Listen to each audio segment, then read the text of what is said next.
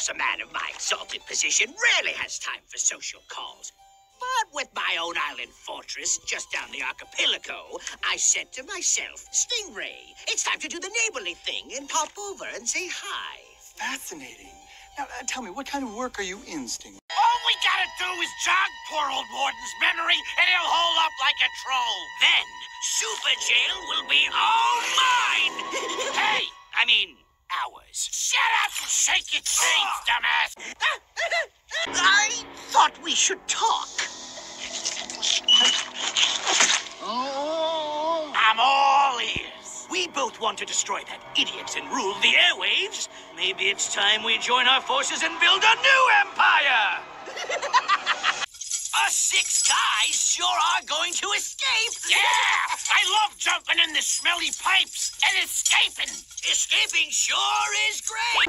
So did Mistress let you off your leash tonight? I'm nobody's lapdog. I'm Lord Stingray. Ah, warden, I gotta level with you.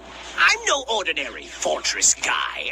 I'm a visionary, a maverick, just like you. Like me? And you know what happens when two mavericks get together?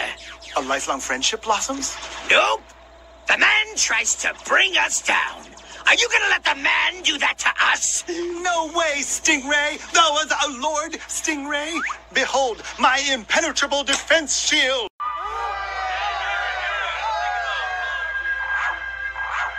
He's not even a real dog. He's supposed to piss his bed and hide. He'll break. We gotta act like the six.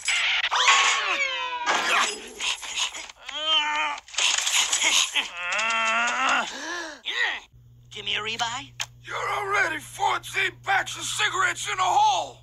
Uh, my well-funded concubine will cover it. I heard she had you on an allowance.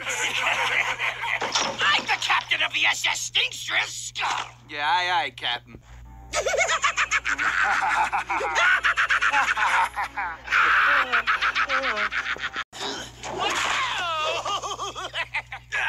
Idiot! The safe is too heavy for either of us to carry alone. We're going to have to work together. I don't partner with dumbasses. Yeah, I got it. Oh, yeah, there she goes. Nope, she's not moving. Maybe if I get the corner. Hey,